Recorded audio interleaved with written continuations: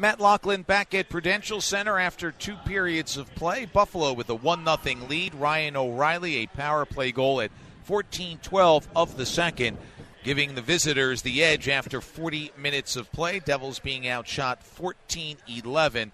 They'll be the tail end of a Devils power play to begin the third.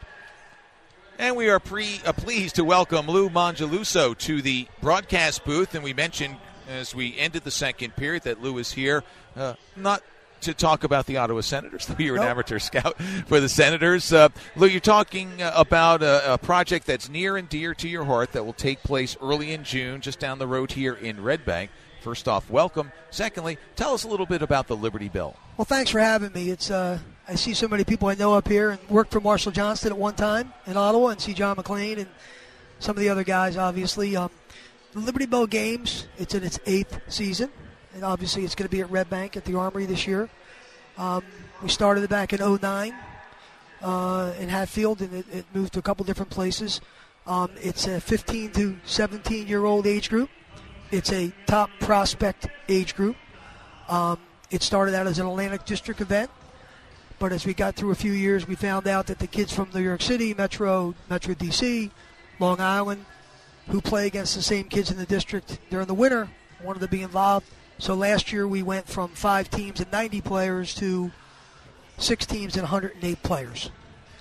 So as things have expanded and the interest in the sport has grown, the New Jersey Devils, one of the co-sponsors of this event, uh, it'll be held at the Red Bank Armory, which is one of the Devils' 35 partner rinks throughout New Jersey. The Devils continue to expand their footprint in terms of their community support you say showcase. Where you mentioned where these players are coming from. How high end are we talking about? I think uh, uh, we have three age groups, so uh, we always are concerned that the 15 year old, those kids go through a growth spurt.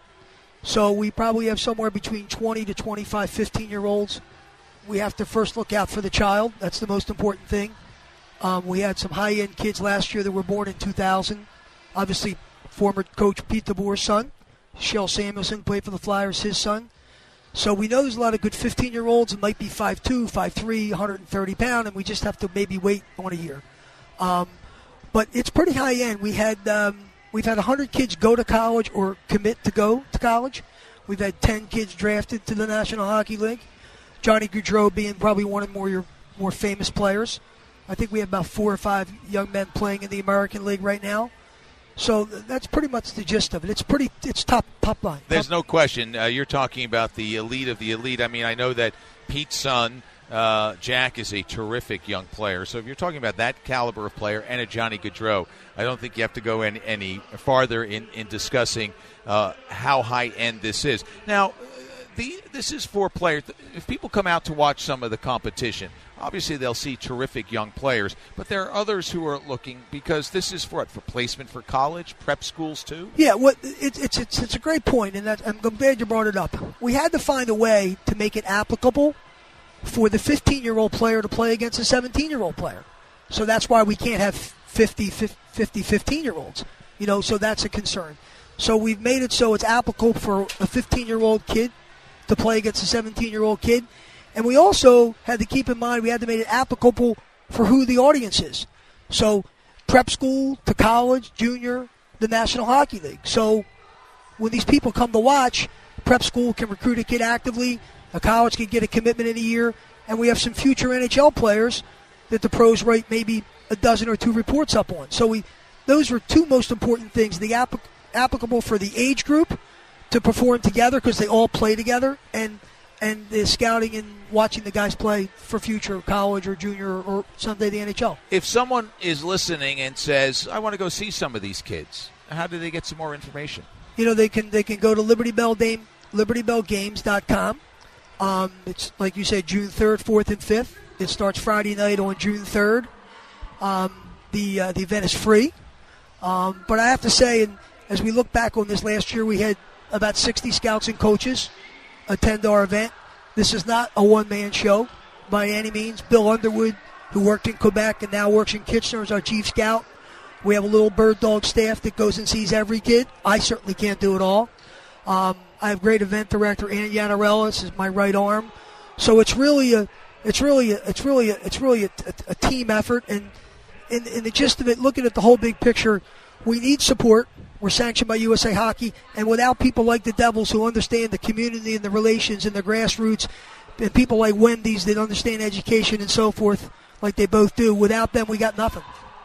Well, Lew, we appreciate your time. We wish you the very best of luck with the event again coming up uh, June 3rd, 4th, and 5th at the Red Bank Armory. You're going to see some exciting young talent if you go there. But it's not just about that. As you mentioned, there's an educational component to it in terms of some colleges looking at some players that may suit up in college at some point for them. Anytime you can see the best of the best get together, it's always exciting. fantastic. And we know this area, and as you mentioned, it's not just New Jersey. Yep. It, it, there's a lot of great kids that are playing uh, hockey in the Northeast. No and we question. see it in the NHL. Not and just we got, we, Gaudreau, I think we're going to have a good 40 to 45 kids from just southern Jersey, North Jersey. It's it's fantastic. This area has grown and it's overwhelming.